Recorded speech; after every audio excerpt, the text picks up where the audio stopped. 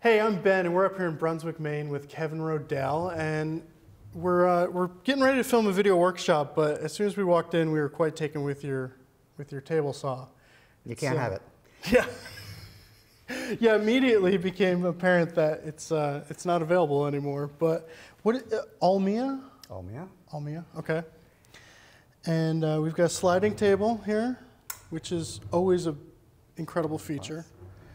Uh, you want to tell us a little bit about this aspect of the saw? Sure. This is the uh, Ulmia 10-inch model cabinet maker saw, made in Germany, and not anymore though. And it comes standard with this nice sliding table, and this nice crosscut arm, built-in stop, and then if you need to, really long panel. This extends out to 90 some inches. Very handy, and then that gets out of the way. That also for longer panels. Very nice ride, very accurate, and it also can be unlocked from 90 and then easily rotated for So, miter cuts. yeah, there's this cam mechanism over here to, so you're dialed into 90, degree, 90 Yeah. degrees every single time. So that's dialed in, so you don't have to rely on just the miter gauge. And it's always very accurate. It hardly moves at all, but you know, it's always good to, if you do take it out, double check with the square for making sure it's uh, accurate. Um, it also comes with this small, the baby miter gauge, which you can use for small things and is also equally, that slides goes on the other side of the blade. I should mention that this whole thing also is adjustable this way.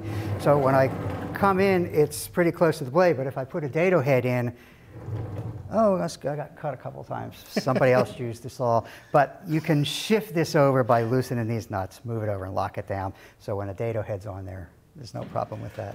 One thing that's really interesting is most sliding table saws are that Euro style where the table is right next to that blade. But this looks more like what, What we're here in used to, America, what yeah. we're used to. Right. Wider table. Um, it's not as long and unwieldy as a lot of sliding table saws. So really interesting. But the, this is all great. Well, it also comes with a very good riving knife, which a lot of saws back when I bought this saw did not have. And this is really and you bought the saw in 80, 85. I bought this in. and this had a riving knife It had a riving knife in then. 85. Well, A, a proper riving knife. Okay, that's a little mind blowing. Yeah, well, I think that was standard European practice back then. Okay. Uh, but it does take a dado head um, if you want to use that. And then there's the crosscut arm. Now, Mm-hmm. it also has, But wait, there's more. there's, wait, there's more. For ripping, as you can see, there's my rip fence. That's all I had to do. I'm locked in square. It has a gauge there. I can move that. And if I want to fine tune, I lock this little dial, and here's a little dial, and I can make fine adjustments to the 32nd of an inch and lock it down. That's it's a really great rip fence. It also is adjustable if your board's under tension and wants to push. I can lock it there, and now the board will flex there and not push into the blade. So besides this feature of adjusting that, the rip fence can slide right out and be turned 90 degrees for special cuts, so you have a very low rip fence, guess for cutting veneers, small things, and does all kinds of things. And that distance is the same. So you're So the Your gauge is measure is still yeah, fine, the yeah. gauge is still accurate there. So let's go back. Usually it's in this position. oh, wow. And so when I'm done with the rip fence, I can take it off, or if I'm going to go and use the mortiser, I like to put the rip fence right there as a safety guard. And you heard that correctly.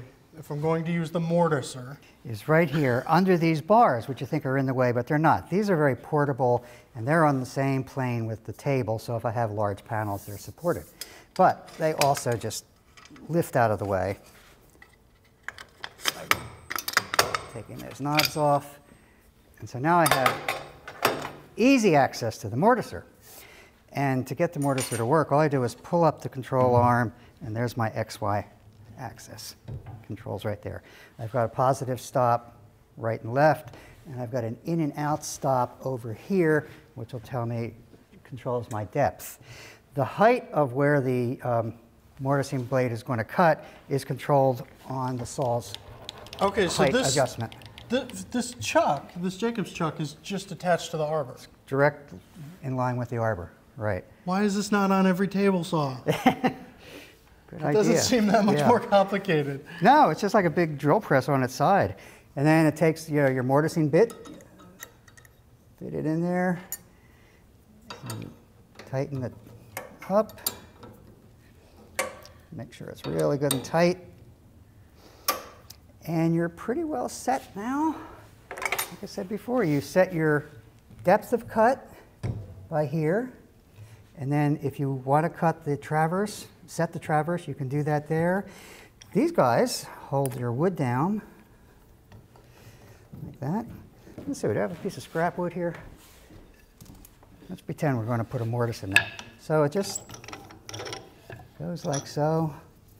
And I can just quickly change from one You got Piece of board to the other. here to make sure you're parallel. Yeah, yeah. The, this table has a bar on it that is 90 degrees to the uh, cutter. So there you go, and then you can just go in and cut mortises. This, And then when it you- slices, it dices. Yeah, It's, this is amazing. So the Ulmia table saw, sliding, sliding table saw, if you find one, buy it. yeah. I would recommend that. You- But you Uh, probably the- won't find one. They're they're hard to find. They might show up here and there on some uh, Craigslist and things like that. I don't know. The back pages of Fine Woodworking probably more likely, and uh, they're great. They're just a great saw. I've uh, never regretted having this, and I wouldn't give it up. I wouldn't think so. Well, thanks so much for showing us, Kevin. You're welcome. Thanks a lot.